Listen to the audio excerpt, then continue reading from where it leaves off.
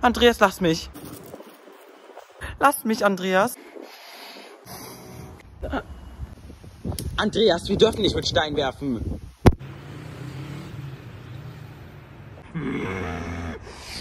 Och, Andreas, Mann. Andreas wütend. Andreas, hör auf jetzt.